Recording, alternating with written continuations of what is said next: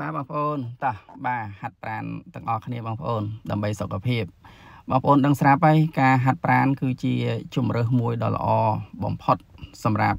បងប្អូនយើងណាដែលមានវ័យអាយុពីក្បាល4ឡើងទៅ ក្បាល40ឡើងទៅ បងប្អូនអាចអឺងាកមករកនៅការហាត់ប្រាណបងប្អូនបាទហាត់ប្រាណរបៀបនេះគឺយើងអាចកាត់បន្ថយខ្លាញ់ដែលវាមាននៅក្នុងក្បាលពោះយើងណាបាទ ឲ្យវាស្រកខ្លាញ់នឹងបន្តិចបងប្អូនព្រោះបងប្អូនដឹងស្រាប់ហើយពីរាល់ថ្ងៃគឺយើងញ៉ាំអាហារគ្រប់ប្រភេទបាទអាហារអីដែលលេបផុតពីបំពង់កទៅគឺយើងញ៉ាំចូលក្នុងពោះរបស់យើងរួចហើយវានឹងបញ្ចេញនៅធម៌ពលទៅតាមសរីរាង្គកាយរបស់យើងណាបាទហើយបើសិនជាយើងញ៉ាំមួយថ្ងៃមួយថ្ងៃទីហោថាដូចជាវិយាបាទស្រាឬមួយក៏ ញ៉ាំអីផ្សេងផ្សេងទៀតបាទបងប្អូនបើសិនជាយើងនៅខ្ទង់កំឡុងអាយុបាទ20ជាងរហូតទៅដល់ក្រោម40យើងមិនតាន់ជាមានបញ្ហាអីទេបាទបើមានបញ្ហាពាក់ទិនជាមួយនឹងសុខភាពក៏រៀងតិចតួចដែរបាទប៉ុន្តែប្រសិនបើបងប្អូនណាយើងមានអាយុក្បាល4មិនន័យថាក្បាល40ឡើងហើយបងប្អូន យើងតិចឈឺនេះតិចឈឺនោះបាទអញ្ចឹងយើងមានវិធីតែមួយទេ គឺយើងតอมក្នុងការញ៉ាំបាទយើងញ៉ាំហ្នឹងឲ្យមានការជ្រើសរើសបន្តិចកុំឲ្យចេះតែឃើញអីញ៉ាំហ្នឹងឃើញអីញ៉ាំហ្នឹងបាទហើយអ្វីដែលជាពិសេសទៅទៀតនោះបងប្អូន គឺសាច់បាទមានដូចជាហៅថាសាច់គោអីសាច់មាន់អីបាទมันมันមានន័យថាឲ្យយើងផ្ដាច់100%ទេក៏ប៉ុន្តែ យើងកាត់បន្ថយបើសិនជាពីមុនមកណាមួយថ្ងៃយើងធ្លាប់ញ៉ាំអស់1គីឡូ ឥឡូវគឺយើងញ៉ាំត្រឹមតែអឺមួយខាំឬក៏ពីរខាំអី vẫn ទៅបានហើយបងប្អូនបាទដើម្បីសុខភាពរបស់យើងព្រោះបងប្អូនដឹងស្រាប់នៅពេលដែលយើងឈឺហ៎បងប្អូនបាទអត់មាននេះទេ បាទយើងឈឺវាអត់មានប្រាប់មុនទេ បាទយើងឈឺឈឺព្រឹបព្រឹបយកព្រឹបយកហើយអឺរោគបាទមេរោគដែលមាននៅក្នុងខ្លួនយើងនោះ បាទជំងឺ ដែលមាននៅក្នុងខ្លួនយើងនោះគឺច្រើនណាបងប្អូនបាទគឺច្រើន តាំងពីការលើសឈាមឡើងអាស៊ីតបាទហើយខ្លាញ់ក្នុងសរសៃឈាមរោគបេះដូងរោគថ្លើមរោគបំមាត់បាទអាលៀកបំពង់ករោគសួតអូច្រើនណាស់បងប្អូនខ្ញុំចាំមិនអស់ទេបងប្អូនអើយបាទអញ្ចឹងមានតែការហាត់ប្រាណហើយការហាត់ប្រាណនេះគឺបងប្អូនណា គឺទទួលស្គាល់ជាសកលបាទជាសកលលោកគឺទៅពេទ្យណាក៏ដោយទៅកន្លែងណាក៏ដោយ គេតែងតែណែនាំឲ្យយើងហាត់ប្រាណនៅពេលដែលយើងមានបញ្ហាចូលពេទ្យបាទហើយបើបងប្អូនដែលយើងនៅផ្ទះចេះណាបាទយើងអត់សូវឃើញអ្នកឈឺទេបាទឃើញម្នាក់ពីរនាក់ឪពុកម្ដាយយើងចាស់ចាស់បាទប៉ុន្តែបងប្អូនណាបាទបើសិនជាយើងទៅពេទ្យវិញណា បងប្អូន100%គឺឃើញច្រើនមែនតែនជំងឺគ្រប់ប្រភេទទាំងអស់បាទសិតតែម្នាក់ម្នាក់សិតតែរលុយត្រៀមខ្លួនដើម្បីចូលពេទ្យបងប្អូនបាទអញ្ចឹងយើងជៀសវាង បាទយើងជៀសវាងកុំឲ្យយើងចូលពេទ្យតន់បាទកាត់បន្ថយនៅក្នុងការចូលពេទ្យនោះបងប្អូនត្រូវតែមានការហាត់ប្រាណបាទយើងព្យាយាមវាហត់តិចមែនបងប្អូនប៉ុន្តែបន្ទាប់អំពីយើងហាត់ប្រាណហត់ អញ្ចឹងសុខភាពយើង គឺល្អបាទសុខភាពយើងល្អកម្លាំងយើងមមមួន បាទខួរក្បាលយើងឆ្លៀសវៃយើងគិតអីក៏លះដឹងហាយល់រឿងរ៉ាវបាទអញ្ចឹងខួរក្បាលយើងស្រឡះនៅពេលដែលបងប្អូនហាត់ប្រាណបាទហើយហាត់ប្រាណមិនមែនដោយតែថាខ្ញុំហាត់ហ្នឹងទេបងប្អូនបាទហាត់កន្លែងណាក៏បាន គ្រប់ទីកន្លែងណាក៏បានដែរបាទលេងបាល់ទាត់លេងបាល់ទះបាទក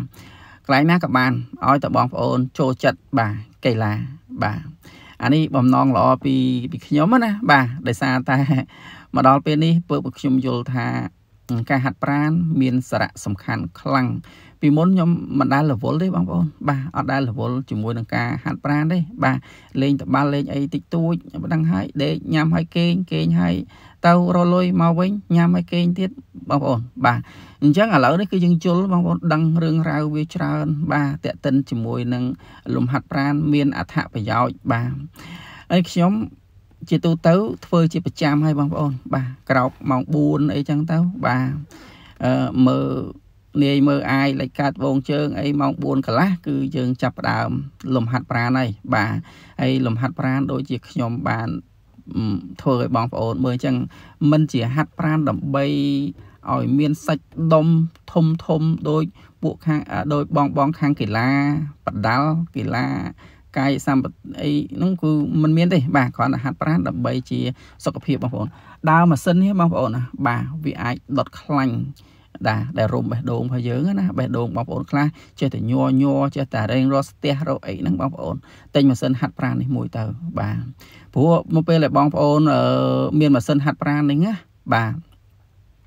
បងប្អូនមានម៉ាស៊ីនហាត់ប្រាណហ្នឹងបងប្អូនដើរនៅពេលដែលបងប្អូនដើរញើសគ្រប់កន្លែងទាំងអស់បាទញើសគ្រប់កន្លែង ជាងទិញដាក់ផ្ទះមួយទៅយើងហាត់បានទាំងអស់គ្នាបងប្អូនទាំងម្ដាយបាទដូចជាបាយបានសាក់នេះវិញបងប្អូនបាទមានអត្ថប្រយោជន៍ណាបងប្អូនធ្វើឲ្យសរសៃឈាមយើងដើរស្រួលណាបាទបើបងប្អូនមិនជឿខ្ញុំទេបងប្អូនសាកមើលបាទហើយនៅពេលដែលបងប្អូនឈឺបងប្អូនទៅពេទ្យបាទបងប្អូនពេទ្យគាត់នឹងណែនាំឲ្យយើងហាត់ប្រាណជាប្រចាំហ្មងបាទប៉ុន្តែបងប្អូននៅពេលដែលបងប្អូន ញក់នៅញៀននៅក្នុងការហាត់ប្រាណហើយគឺនៅពេលដែលមិត្តភ័ក្ដិយើងណាបបួលយើងទៅញ៉ាំវិជាញ៉ាំអីទៅដល់ម៉ោងហាត់ប្រាណហើយបងប្អូនទៅហាត់ប្រាណសិនហើយបាទរឿងញ៉ាំវិជាជាទូទៅបងប្អូនណាក៏ញ៉ាំដែរមិនថាខ្ញុំមិនថាគេទេប៉ុន្តែគ្រាន់តែថាញ៉ាំតិចហើយនឹងញ៉ាំច្រើនតែប៉ុណ្ណោះបាទវាញ៉ាំវិជាវាធ្វើឲ្យយើងអឺដោះក្បាលពោះហើយធ្វើឲ្យសុខភាពយើងអត់ល្អទេ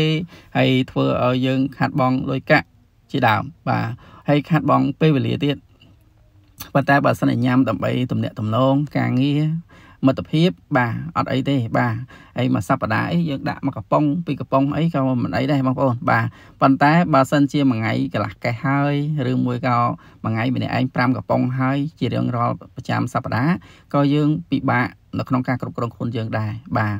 អញ្ចឹងបងប្អូនធាក់កង់នេះក៏ហត់ខ្លាំងណាស់ដែរបងប្អូនណាបាទធាក់កង់នេះវាមានលបឿនផវា មានន័យថាយើងចង់ធាក់ឲ្យវាតាំងធ្ងន់ជើងក៏បានឬមួយក៏យើងធាក់ធូធូក៏បានដែរបាទហើយធាក់កង់នេះក៏ដូចយើងជិះកង់នៅខាងក្រៅដូចគ្នាប៉ុន្តែគ្រាន់តែថាខុសទី1ទេសភាពយើងជិះកង់នៅខាងក្រៅណាយើងបានមើលទេសភាពជុំវិញក៏ប៉ុន្តែវាជួបបញ្ហាគ្រោះថ្នាក់ដែរបើសិនជាយើងធាក់កង់នៅខាងក្រៅជួបបញ្ហាឧទាហរណ៍ថាអ្នកណាដែលគាត់ជិះ ឡានឬក៏ជិះម៉ូតូមកពីណាគាត់អត់បានមើលអីអាហ្នឹងវាអាចគ្រោះថ្នាក់ប៉ុន្តែបើយើងនៅក្នុងផ្ទះចេះធានា100%ថាអត់មានបញ្ហាទេបងប្អូនបាទរំពាត់បងប្អូនរំពាត់អង្វីរំពាត់នេះគូធ្ងន់ណាស់បងប្អូនបាទវាធ្វើឲ្យយើងគ្រប់តសៃតសងរបស់យើងទាំងអស់គឺញាក់គ្រប់កន្លែងគឺអត់មាននេះទេបងប្អូនអើយបាទបងប្អូនសាកបាទបងប្អូនដងឲ្យហត់ហត់ខ្លាំងម្ដងណាបងប្អូនណាបាទគឺហត់ខ្លាំងបាទ អញ្ចឹងបងប្អូនណាបាទបងប្អូនកុំភ្លេចបាទរៀងរាល់ថ្ងៃបំណងល្អពីខ្ញុំបាទអរគុណណាស់សូមជម្រាបលា